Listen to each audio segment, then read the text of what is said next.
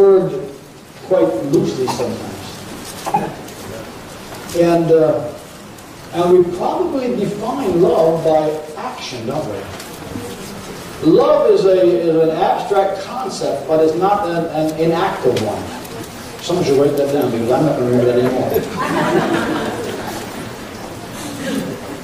what was I just how, how do you define love? Tom will look at his beautiful wife and say, I love you. She'll say, show me. So next day, Tom comes with a big bouquet of roses. It's, it's, it's a demonstration, right? Or a, uh, an invitation out to a nice, fine restaurant to dine. Here's my question this morning. What does God's love look like?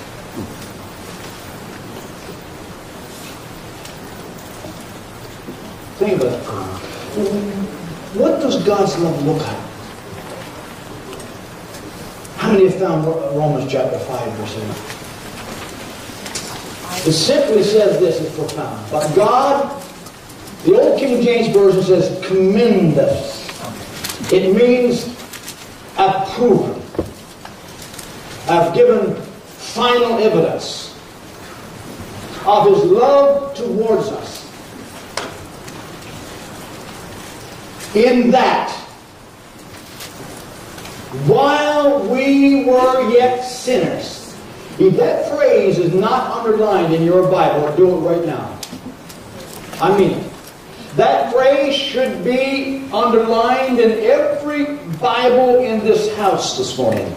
That while we were yet sinners, Christ died. Let that sink in for a moment. While we were blaspheming, while we were ignorant towards, while we were neglecting of, while we were abusive to,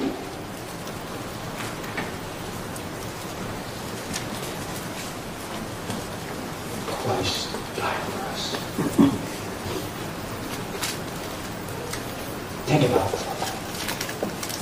It's so easy for me to love someone who's always calling me and telling me how great a preacher I am, how wonderful a pastor I am, how I'm always filling me with these great thoughts.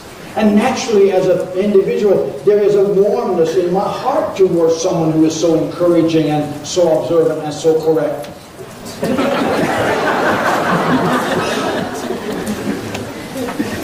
But then the phone call comes in, and I'm ripped apart.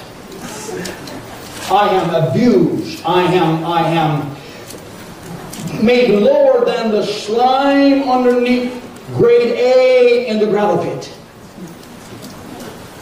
I am made to be, I am lied about, I am falsely portrayed, I am, and they hang up the phone. Get the picture, don't you? My immediate reaction, not one of great love and appreciation and thanking God for this phone call. Oh Lord, I couldn't have been through a day without this phone call. No. No, my first reaction is I'm blowing fire like the bull. I'm snorting at my nostrils. I'm going through all the reasons why it, nothing that person said to me was right. And I'm kind of looking at God and saying, God, you could have stopped that and you didn't. So God, if you are choosing not to get even, I will. And I got a few ways to do it. love is not on my mind. And love certainly isn't one of them. But here in this text it says, while we were yet sinners, Christ died for us. So we abuse God and abuse God and abuse God. And what's his response? He gives his son. And then we, he sends his son and we abuse him and we abuse him and we abuse him and then we put him to death. And he says, Father, forgive them. What does God's love look like? I, I, present to you this morning this, this truth that Jesus Christ is the ultimate expression of the, of the Father's love. But let, us let's, let's take a little journey this morning and, and put that into real, into real life context. It's interesting, educators, and we have a number of them in our congregation. Educators say this that we retain 30% of what we hear. We retain 60% of what we hear and see. And we retain 80% of what we hear, see, and do. And that observation is going to be significant in a little while as I share the Word of God with you this morning. So, what does love look like? When we see somebody holding hands, is that love? Maybe. But it might be lust or perversion or simply friendship. One of the interesting things I first learned when I went to Africa, and, and all my African brethren and sisters here will understand what I'm saying. Uh, so I, I, went to to uh, with, to do I did a, a, conference in Africa in '99 uh, that covered something like seven different uh, several different countries spending most of my time in, in, in, in Zambia. And uh, I was briefed by a good friend of mine who was a missionary. He said, now when you see the brothers holding hands, uh, there's nothing funny going on. Because when I see the brothers holding hands over here, in downtown Toronto, yeah, you know what I mean. Right? So, uh, in Africa, and uh, how, how, many how many understand? How many of my brothers here this morning from from from Africa continent understand? Right on, exactly, exactly. And it, it's an expression of, of friendship. We are friends. We're walking together, and we pray together, and we encourage one another. We care for one another's families, and we take responsibility for each other. It's a it's a marvelous concept. A marvelous concept. So could be simply friendship. When we see someone doing good things, is that love?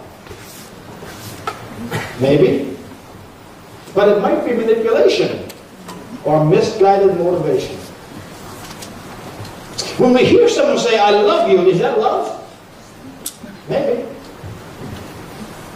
But it might be a strategy for personal gain.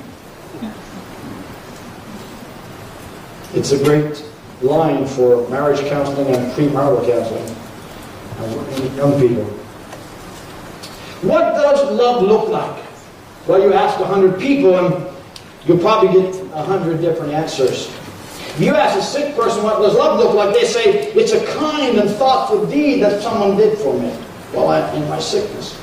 You ask a lonely teenager, and that teenager, him or her, will say to you, it's, it's someone who will give them their time. I love you enough and care about enough that though there are other things on my agenda, I'm setting aside the afternoon to spend with you give me time. If you ask a parent what love is, it's a son or a daughter who cares enough to stay in touch. You ask a child what love is, and they may answer it's a parent who's always there to support and encourage. So, can love be defined? My answer to you is yes this morning. It can be defined. But it's got to be defined within a context. It's, it's not just a, a wishy-washy uh, definition from Webster's. As good as Webster's is, it's got to be defined within the context of two things sacrifice and forgiveness. See, it is, it is our love for our spouses that allow us to have the capacity to forgive and not hold against. It's our love for our fellow worker that, that allows us to uh, forgive that person and not hold against them. Then in the context of sacrifice, it is love that causes us to, to, to sacrifice even if we don't get anything back in return. Isn't that true of Calvary? Many rejected him. He still loved them, and he loved them to the end. So love can only be defined in the context of sacrifice and forgiveness. The one who truly loves will be prepared to sacrifice and forgive when that sacrifice has been slighted or offended. Actually, husbands and wives, we, need, we, we really do need to revisit our, our vows. For better, for worse. For richer, for poor. That's 16 spouses we're allowed to have. Four, four, four better and four, four worse. Four rich and four poor.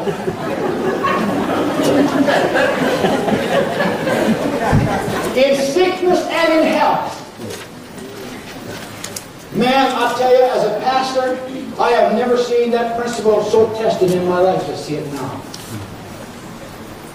I've seen couples who, who have just went through life without a without a, a health issue. I've seen couples who went through life with like everything going for them, and I oh, wonderful. But then I have seen and have worked with couples. And in the natural, it's heartbreaking to see to see a man uh, nursing his wife, his wonderful, beautiful wife, uh, as, as you would nurse uh, a child. And you will see him sacrificing his very life to give her what basic comfort she can needs during this incredible, hopeless situation. And it was only just a couple of weeks ago I walked into one, I was I encountered one of those situations and I and I, I afterwards I made this comment, oh my Lord. When we stand at the at the at the altar with our our our mate for life, and we make this vow in sickness and in health, for rich or for poor. You are mine. So I'm going to tell you something. We're in an age where you need to love somebody to stand true to that principle. And that love began with a love for Christ and a love that's been communicated to one another. Because look, I don't know what tomorrow holds. My wife don't know what tomorrow holds. Maybe she will have to nurse me. Maybe she'll have to feed me with a bottle. Maybe she'll have to change my diapers. That's the reality of it. Maybe I won't be able to show her love back. Maybe I won't be able to communicate to her. Maybe I won't be able to do nothing. I'll just lie there as an invalid. And the love of God in her for me, because of our commitment to one another, keeps her coming back and treating me like a child, which I want to love, but I can't say thank you. That's the reality. That's the reality. Love is, is, is, is, is, is, is an incredible force. And it's not something to be said lightly. It's not something to be thought of lightly. It's, it's, it's always within the context of sacrifice and forgiveness. See, in John 3.16, you don't need to go there because you know it. For God so loved the world that he gave his only begotten Son, that whosoever believes in him should not perish but everlasting life. Yet while we were in our sins, he died for us. The text says, while we were sinners. How many people, come on, now look at how many people have we kind of held at bay because we didn't know we could trust them? Because of their lifestyle, because of, we just held them out there. And we would, actually what we did was withheld, withhold our love from them because we didn't them. And we weren't prepared to expose ourselves. And we couldn't take the risk. Just think of the risk that Jesus took when he came down for us bunch of sinners. And he died, he died, he died for all mankind. Think about it for a moment. He risked everything.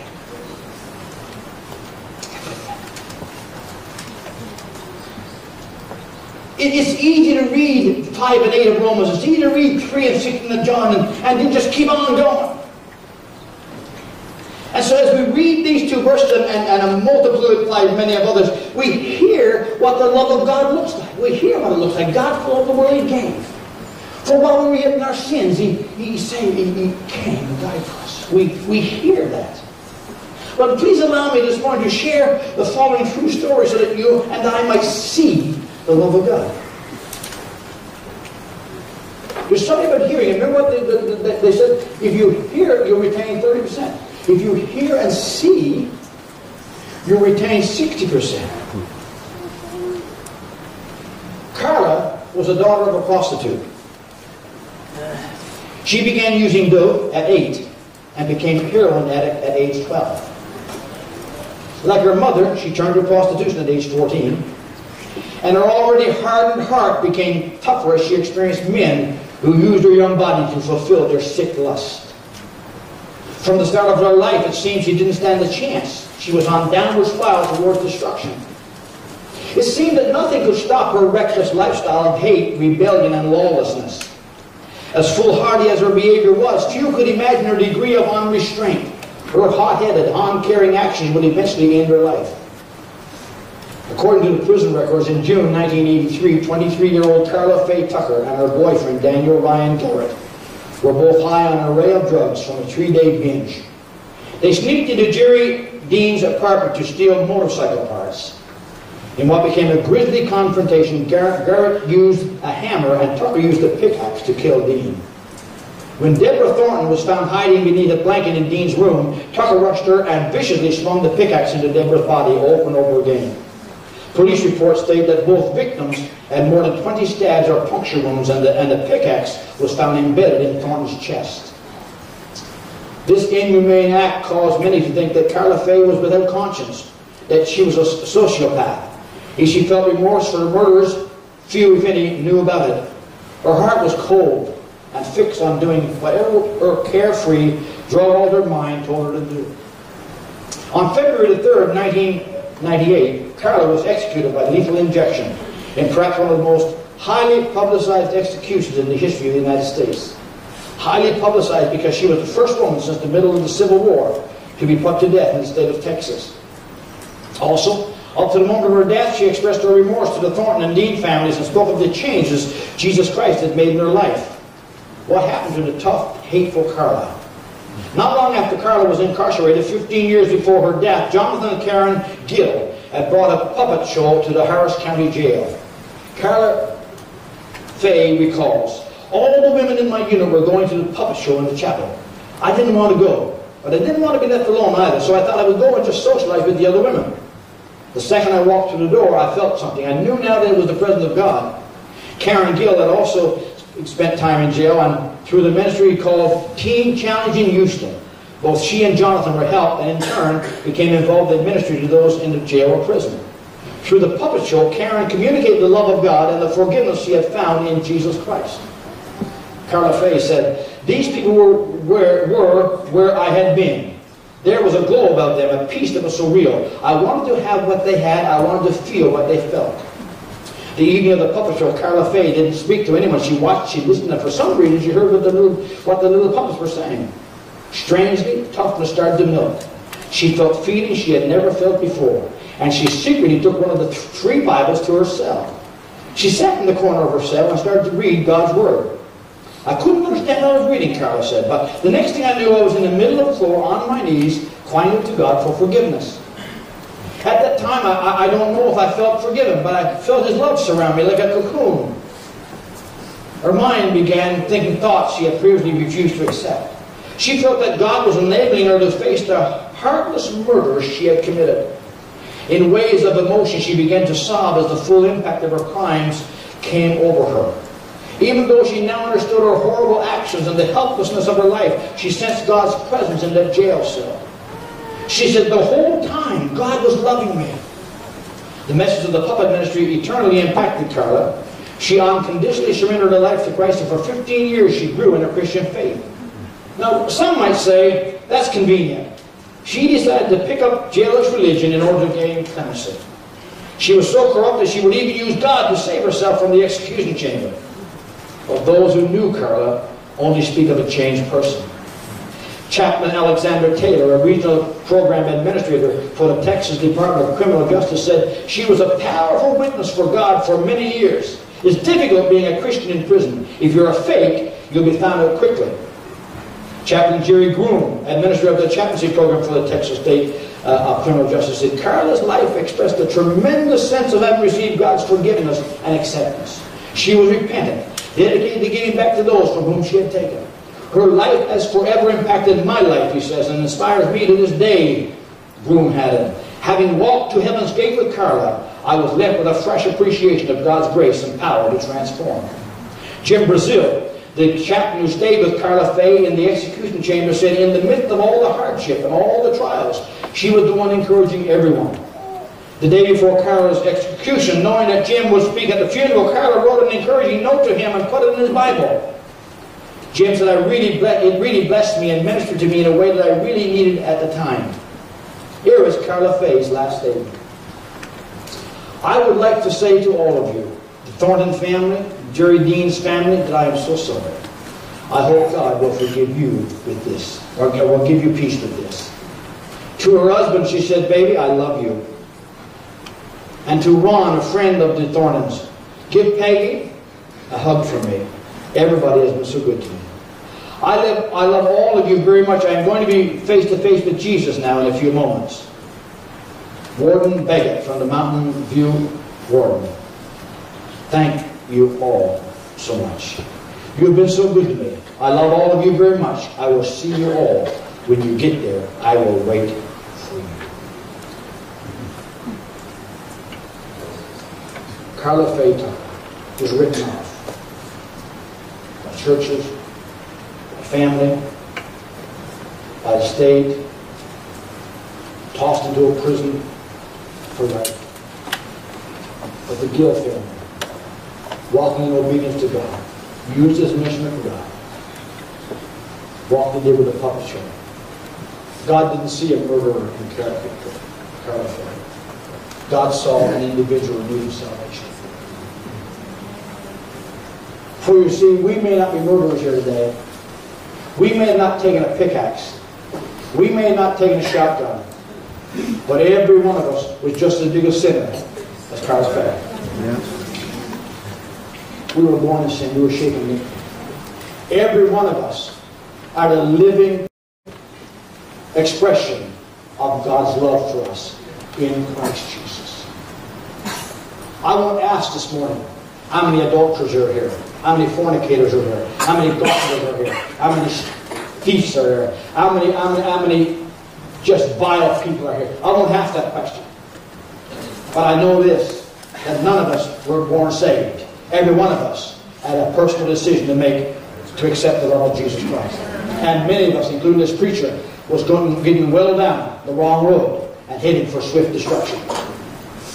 When Jesus intercepted our lives. Maybe if we look this morning at ourselves, we will see the expression of the love of Jesus Christ.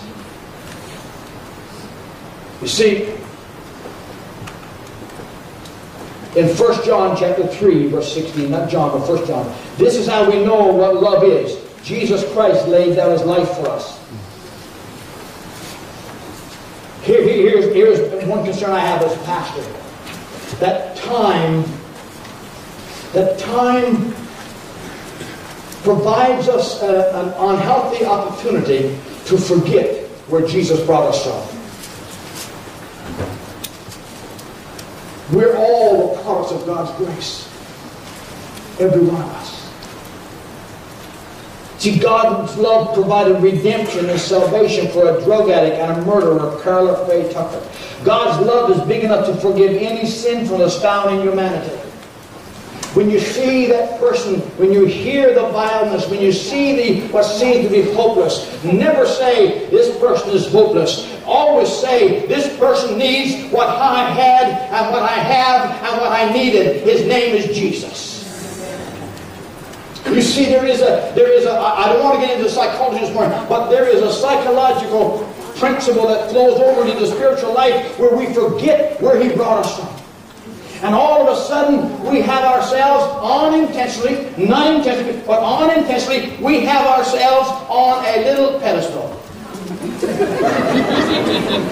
That's a 9.9. We put ourselves on this pedestal in our minds that we're better than other people.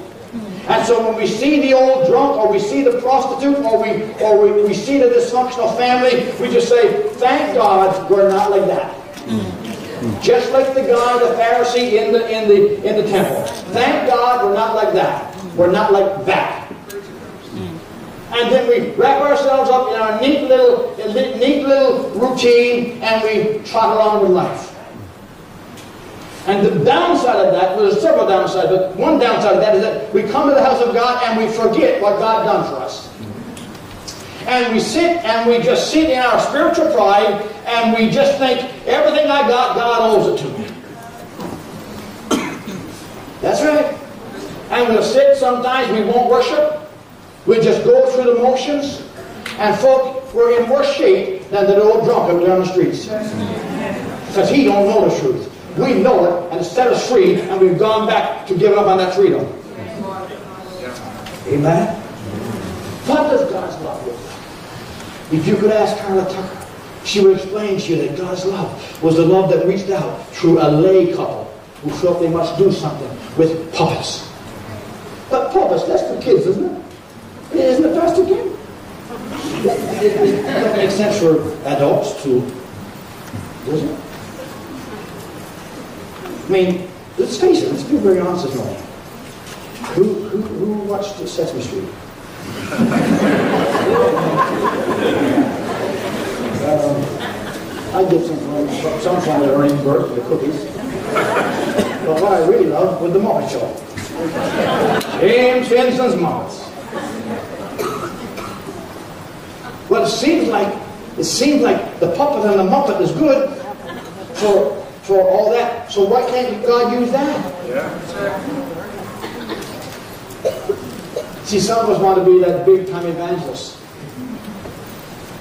that stands before 12,000 people and gets this lofty introduction and then does his thing, and that's how we want to know. See, God uses whatever he gives hands on. That's what God, God's love is not restricted to the, the, the, the rich and famous. It's restricted to whosoever will. Amen. Make themselves available. It's very interesting, you see. We, uh, we, we, sticking with the psychology for a moment, we finally get to the point where we've forgotten who we were. We really do. And uh, uh, we, we, we see ourselves over and above other people. And what happens is we, we lose our appreciation for the miracle that God did in our lives. It's incredible. Uh, I, I, think it was Isaac Newton, and it was, was a, a, a, slave trader and a rum runner, and he was the vilest of the vile. And in a vicious storm, uh, out somewhere in, in one of the big oceans of the world, uh, he finally surrendered his, his, his, his life to the Lord and became uh, an incredible songwriter, an incredible preacher of the gospel of grace. And he had a, he had a, in his office, he had a, a big plaque, and there's just one word. And said, remember. I forget who it was that came to visit him this day, and it said, we're, we're kind of curious about your, your, your, your plaque that with one word on it. And he said, God if I didn't remember God just encouraged them to put that there as a, always a reminder of what he was. A, a slave trader, a blackguard, a blasphemous person, but the grace of God. And so he would say, I was a great sinner, but I met a great Savior. We must never forget that we were great sinners, but we met a great Savior. I met a great Savior. This is very interesting in, in 1 Corinthians. Turn with me for a moment to 1 Corinthians chapter 6. See, God's love is big enough to forgive any sinfulness found in humanity. In fact, Paul's letter to the Corinthians was quite clear that the church was made up of such people. Listen to this. In 1 Corinthians chapter 6, verses 9, 10, 11, listen to this. Now here's a bunch. Here's a bunch.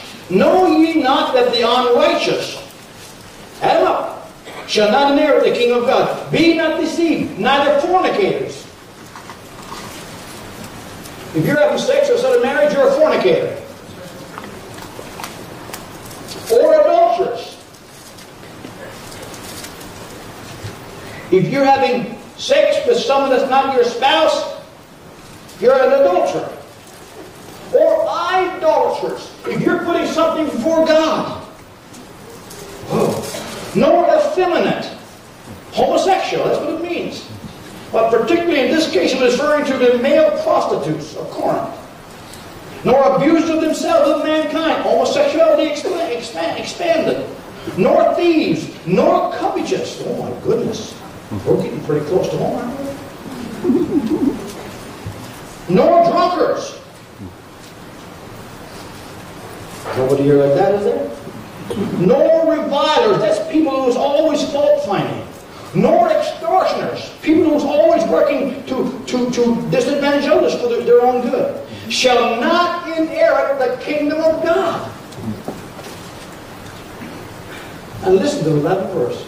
And such were some of you. And this morning, such were some of us. Now listen to the love of God in action. But ye are washed, but ye are sanctified, ye are justified in the name of the Lord Jesus and by the Spirit of our God. Wow.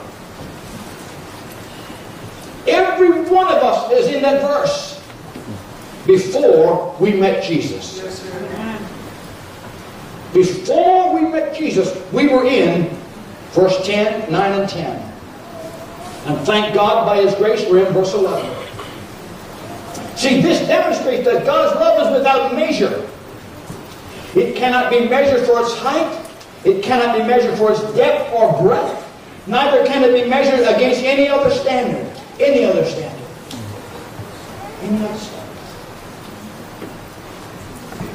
Karla Faye Tucker was like many of us. Never knew Jesus. And, and, and got herself in, in under the power of sin in a life-destroying situation. And so we rejoice greatly in the incredible grace of God to reach into a prison house and bring a murderer out and forgive that murderer. Karla Faye Tucker is a definition of what God's love looks like. It's a definition of what what about the other side of the equation? What about, Pastor, when I serve God and, I fail God? Maybe you're here this morning and, and, and you're way out of relationship with Almighty God. But there was a time when you were zealous for Him. There was a time when you worked for Him. There was a time when you, you had consecrated all to Him, but you're, you're off track this morning. You're off track this morning. That's a possibility in many lives. Maybe today you're sitting here in this audience and you're listening and you're overwhelmed with guilt because of the sins of your past. And you're thinking that God would never forgive you and love you because of who you are and what you have done. I've had that said to me. I have been walking with people through the, the salvation process and through the introduction to the gospel process and all the, the nine steps and all the rest that we do. I only to have them look at me and say, but you don't know what I've done. You don't know what I've done. And I know some people use that just to get rid of the preacher. But I've had it said to me, and I knew the moment they said it, whoa, whoa, there have been some where I've not been. I know by the way they said it. I know by the way they said it. You don't know what I've done. You don't know how badly I've let God down. You don't know. You don't know, preacher. You've lived a nice, tidy little life in your family, but I had all of it and I turned my back on God. You don't know what I've been through. And you don't know how badly I've sinned. In other words, I'm not sure God can save me. Not sure if I can forgive me for where I've gone.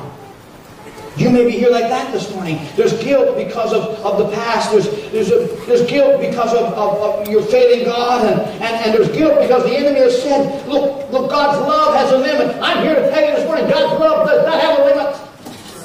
I'm here to say this morning on the authority of God's Word that in hell, God will love. When you're lost and abandoned to hell, when you're gone and got no hope for eternity, God will still love you. I want you to hear that. Hell will just be as real and tormenting for eternity onto eternity, but God will still love you. But you made a choice. You made a choice. You made a choice. I'm glad this morning to report that God is the God of second chance. You're looking at a preacher who is the product of God's second chance. I served the Lord. As a young person, I, I got away from God. And my life was on a fast track to destruction. And He arrested me. And I'll never forget the night He arrested me. I won't go there now. But He put a wall in front of my face, and I knew if I walked through that wall and past that wall, that I would be walking into a lost eternity. But God had done everything in His power without breaking my right of personal will. And He arrested me because He loved me. He didn't let me go. Others had me tagged as being the, the bad one, and they were right. Others had tagged as not having any hope, and they were right. They were right until I encountered God. My drinking friends, who were part of my family, when I got saved in November, were first of all very disappointed because Christmas was coming and I wasn't going to be out of bed with them. So my brother-in-law said to my brother, don't worry about it. He'll be backslidden before Christmas. We'll have him begin to drink. Well, today my brother-in-law my brother for many, many years have been powerful believers and done a great work for God. You see, they underestimated the grace of God to bring a sinner back. How many here this morning, just quickly, you're, you're, you're, you're the product of second chance? Look at that. After this audience, you're a product. Give the Lord praise. You're a product. You may be here this under the burdens. The devil is saying, see, you can't make it. You sinned. You failed. Look, and you've lived that sin for a while, and it's getting, and you know, you know, you know, you, you're just not going to make it. He's a liar. He's a father of lies. And I know that we realize that. God is the God of the prodigal. God is the God of the prodigal. I was a prodigal. You may be here this morning as a prodigal. He, he is the God of the prodigal. Let me begin to pull this to a close. And in doing so, I want to read another story. For you Newfoundlanders, it's time to do that fill out our homes. He was a great storyteller in our province. This morning, I don't usually have two stories in one message, but I believe it's a good illustration. You're here this morning, you're away from God, and you're running from God, and you're away from where you were, and God has His hand upon your life, and God has a call upon your life, and God and God has done something in your life, and you've turned your back on God, and now you're feeling the burden of it, and you're and you're, you're struggling with the lie of the enemy. That it's too late. Let me explain something to you. Years ago, two young couples from the Philadelphia church in Stockholm, Sweden, answered God's call to be missionaries to the Belgian, to the Belgian Congo in Africa. When David and Svea Flood and Joel and Bertha Erickson arrived at the mission station in 19, 1921, they literally hacked their way with machetes into the interior. They finally reached the village. But the people said, we can't allow any white people here, or our gods will be offended. At the next village, they were also rejected. The weary families had no choice. They settled in the jungle and built mud huts. Soon they were plagued with loneliness, malnutrition, and sickness. About six months uh, later, the Ericksons decided to return to the mission station. But Svea couldn't travel because she was pregnant with her second child and had malaria. For several months, Svea Flood endured a raging fever. During that time, she witnessed to a little boy who came from a nearby village to sell chickens. He also brought fruit for the family. As Svea spoke to him, he simply smiled. She didn't know if he understood the message of Jesus Christ that she tried to communicate to him. Svea delivered a healthy baby girl on April 13, 1923.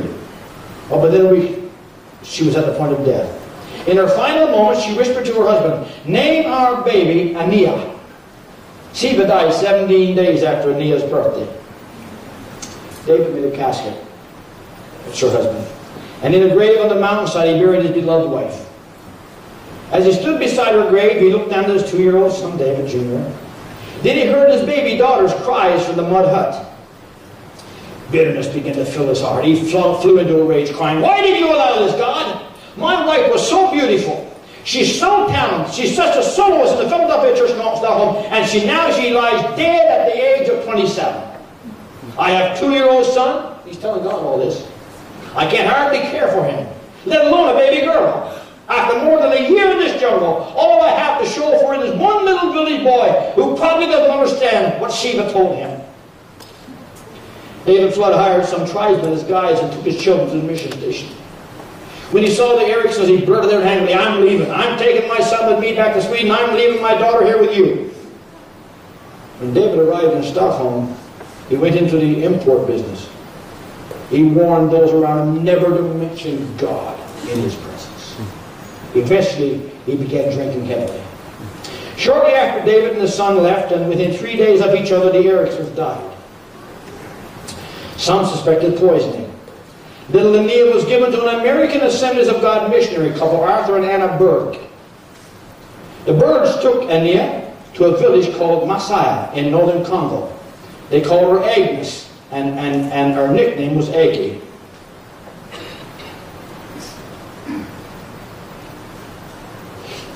Alone much of the time, Aggie played games of imagination. She imagined she had brothers and sisters and even gave them names. She played with the African children and spoke Swahili. When the Bergs returned to the United States, they brought Aggie with them. She had been born in the Congo Sweden parents and had only a birth certificate with no evidence of Swedish citizenship and no Congolese citizenship. She was given a six months alien visa to enter America, and for many years the Berg had to travel to Canada to renew Aggie's visa and didn't re-enter the United States. Aggie was a girl without a country. Many years later, after Aggie was married to an American and had her own family, she was unable to become a U- she was able rather to become a U.S. citizen. Over and over, Aggie tried to put the pieces of her life together. Where was her father? What was he doing? Where was her brother David? And did she have other brothers and sisters? Forty years later, she finally traveled to Stockholm to locate her father, or try to locate her father. Three half brothers greeted her at the hotel. She quickly asked him, Where's David? referring to his, her brother. They pointed across the lobby to a man slumped in a chair. Like his father, he had nearly destroyed his life with alcohol. When Aggie asked about her father, her brothers flushed with anger. None of them had talked to him in years. Aggie's half sister arrived at the hotel. All my life I've dreamed about you, she said. I used to at a map of the world, put a toy car on it, and pretend to drive everywhere to find you. Aggie and her sister went to find their father. They drove to an impoverished area of Stockholm where they entered a run-down building and climbed the stairs to the third floor. Inside, liquor bottles lay everywhere. Lying on a bed in the corner was her father, the one-time mystery David Flood. He was now 73 and suffering from diabetes. He had also had a stroke. Cataracts covered both of his eyes. Aggie fell to his side, crying, Daddy, I'm your little girl, the one you left behind in Africa. Tears formed in his eyes. I never meant to give you away. I just couldn't handle both you and your brother. Aggie answered, That's okay, Dad. God took care of me. Her father's face became tight. God didn't take care of you. He ruined our whole family. He led us to Africa and then he betrayed us. Nothing ever came of this time. It was a waste, he said to his daughter. A short time before her visit, Aggie received a Swedish magazine article in the mail that told the story of her mother, Sheba, and how many African churches revered, revered her memory. It showed a picture of Sheba's grave and told how her life and death had influenced the spread of the gospel in Zaire. Aggie told her father the story so that he could see that her mother had not died in vain. Aggie sang hymns as her mother had done and prayed with him. He broke. Tears of sorrow and repentance flowed down his face and he committed his life to Christ. Not long after that meeting, David Flood died. Later, Aggie learned that his final, in his final days, her father had begun painting scenes of Africa. And in his final hours, delirious, he had begun to speak in Swahili. Before God took him home, he took him back to Africa. Folks, that's what God's love like. That's what God's love looked like. That's what God's love looked like. Not long after the meeting, David Flood died, and, and, and, and so God took him in the, in the spirit. When visiting London a few years later, Aggie and her husband were introduced to the superintendent of the Pentecostals of Zaire, the former Congo. His name was Rugida Degora. With curiosity, Aggie asked, Aggie asked, Did you ever know the missionaries, David and Svea Flood? Yes, he answered. Svea Flood led me to Jesus. When I was just a boy.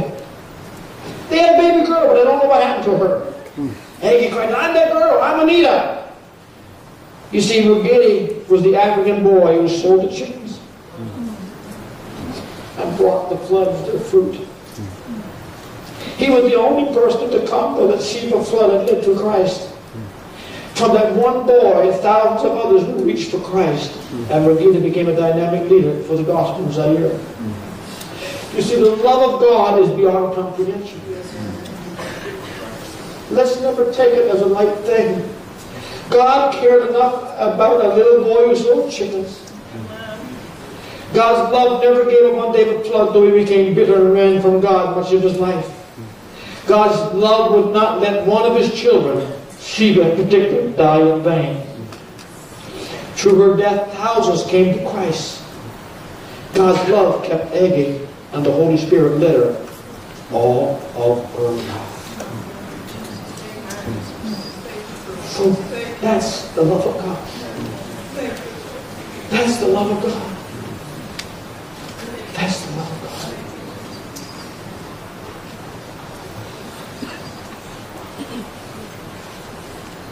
Maybe today you're listening and you're overwhelmed with guilt. The Word of God says that while we were yet sinners, Christ died for us. So what does God's love look like? It is the look of sacrifice. For God so loved the world that he gave. Whenever you see sacrifice in action, remember the love of God. It is the look of forgiveness. The Bible says that whosoever believes in him. Do you believe in him this morning? All you need to do is repent. You see, because we're just sinners saved by grace. As I, as I read the Corinthian passage this morning, Paul says, such were some of you. My mind went to that old hymn that we sing, I'm just a sinner saved by grace. When I stood condemned to die, he took my place. Now I live and breathe in freedom with every step I take. I'm loved. I'm back with the Lord.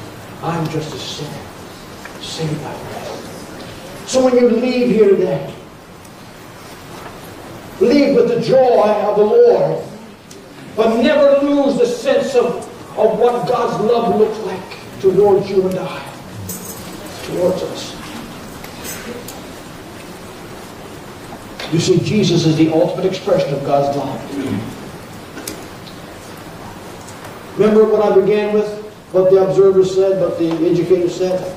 You retain 30% of what you hear, 60% of what you hear and see, 80% of what you hear, see, and do. See, it's not enough to hear about God's love. You're here today and you're not right with God. This message will only save you if you receive Jesus Christ as Lord and Savior. How often I have confronted people, and I know most people who do witnessing do that, and you begin to confront them. Oh, yeah, I know all about that. I grew up in this church or that church, and I read my Bible for years. Oh, yeah, I know all. And there's a pride in what they know. And you got to take them on the shoulder and say, it's not what you know, it's what you believe and act on. It's what you believe and act on. It's what you do. What do you do with what you know? What do you do with what you? What will the plot be like? when those who have rejected Christ. There is no wonder the scripture talks about degrees of punishment. There will be degrees of punishment. And what you will be based upon the fact that those who never heard against those who heard and rejected. What will you do when you stand before him and he begins to tell you everything you do and you miss his salvation? Well, God, I, I, thought you wouldn't take me back after I messed up so bad. I'm here to tell you this morning now for time and eternity. That's the lie of the devil. That's the lie of the devil. He took back David Flood. He took back every Plague. He took back a good many people in this congregation who failed him miserably after you first met him. He's a God of second chance. God's love looks like Jesus Christ. Not enough for you to, to, to hear about God's love. It's not enough for you to see God's love. You must hear, see, and experience God's love for yourself.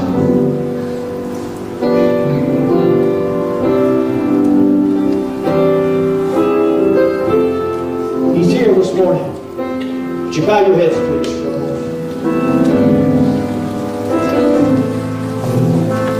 He's here this morning.